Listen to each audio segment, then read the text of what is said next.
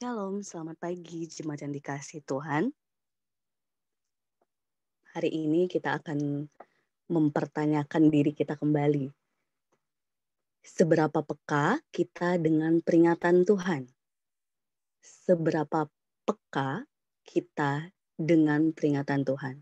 Karena bacaan renungan kita pada hari ini 1 Samuel 2 ayat 21 sampai 25 akan mengajak kita untuk melatih kepekaan kita supaya kita tidak jatuh pada peringatan yang fatal dari Tuhan.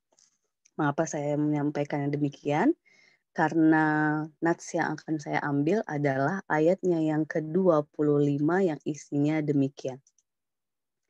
Jika seseorang berdosa terhadap seorang yang lain, maka Allah yang akan mengadili. Tetapi jika seorang seseorang berdosa terhadap Tuhan, siapakah yang menjadi perantara baginya? Tetapi tidaklah didengarkan mereka perkataan ayahnya itu, sebab Tuhan hendak mematikan mereka.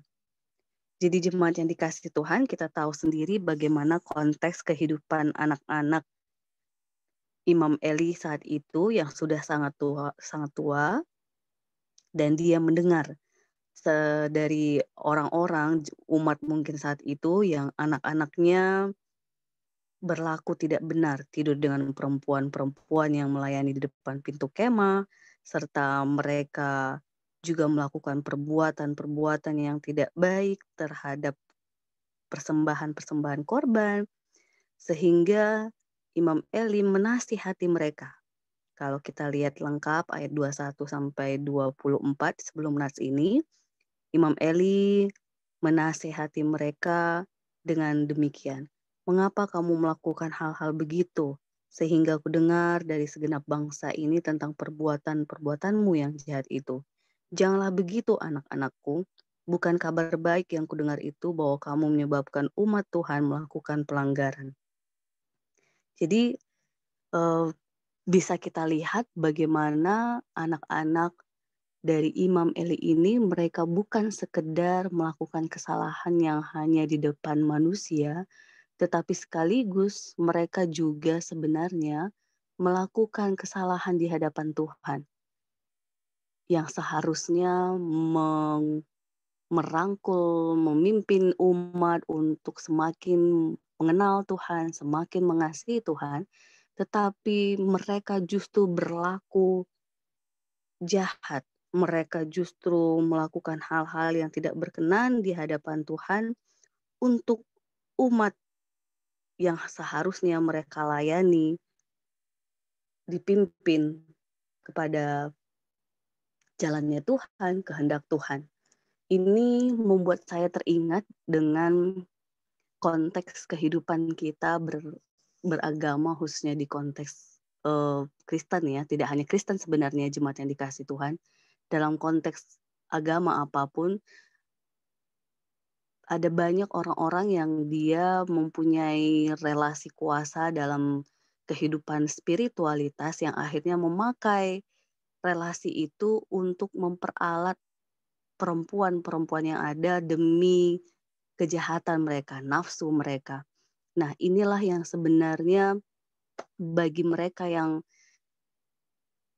lewat ataupun mereka yang merasa aman dengan umat yang terkadang, saya bilang terkadang diam gitu ya, tapi tidak semua karena kita tahu sendiri sudah banyak umat yang di tengah-tengah konteks eh, sekarang akhirnya berani bersuara begitu ya, tetapi juga tidak menutup mata masih ada umat yang menganggap ketika orang-orang yang bekerja dalam kehidupan spiritualitas ketika melakukan kejahatan, pelecehan dan sebagainya masih memilih diam masih memilih untuk tidak memperingati, masih memilih untuk menghargai status ataupun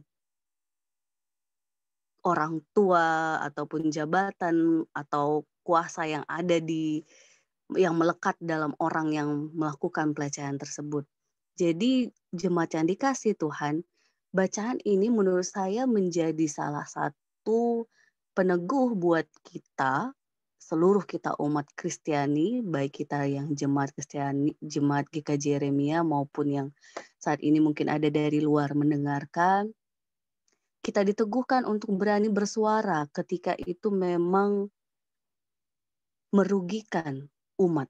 Ketika seorang yang seharusnya membawa berjalan dalam keadaan Tuhan, dalam jalan Tuhan justru melakukan hal-hal yang jahat di hadapan Tuhan dan membuat orang-orang lain menjadi korban yang terluka, korban yang tidak dihargai, korban yang tidak di dimanusiakan begitu ya.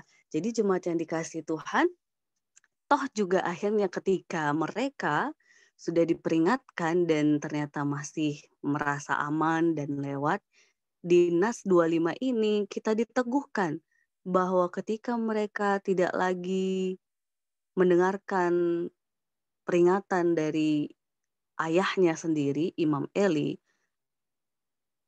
ternyata itu tidak jaminan mereka bebas dari apa yang menjadi kemurkaan Allah, kemarahan Allah karena mereka tidak berlaku benar atas kuasa yang mereka miliki sebagai anak-anak Imam Eli. Nah, di sinilah uh, jemaat yang dikasih Tuhan, setiap kita umat percaya diingatkan, diteguhkan selama kita hidup di dunia ini masih ada peringatan dari orang tua atau sekitar kita, maka kita terus latih kepekaan kita dan berubah. Karena kalau kita tidak peka dan tidak berubah, maka kalau sudah Tuhan turun tangan, maka siaplah. Siaplah dalam arti sebagai ukuran kita manusia, kita memang tidak bisa menghakimi lagi, tetapi sebagai ukuran Tuhan, maka Tuhanlah yang akan memberikan penghakimannya yang sejati untuk setiap kita yang berlaku jahat, tidak hanya di hadapan manusia, tetapi di hadapan Tuhan. Saling mengingatkan, saling mendoakan jemaat yang dikasih Tuhan supaya kehidupan kita bersama-sama mendatangkan sukacita dan damai sejahtera, maka saling mengingatkan, mendoakan, serta meneguhkan satu dengan yang lainnya dalam terang kasih Tuhan, itu harus menjadi perjuangan kita bersama. Tetap kita latih kepekaan kita agar kita terus berubah dan berubah dalam terang kasih Tuhan. Amin.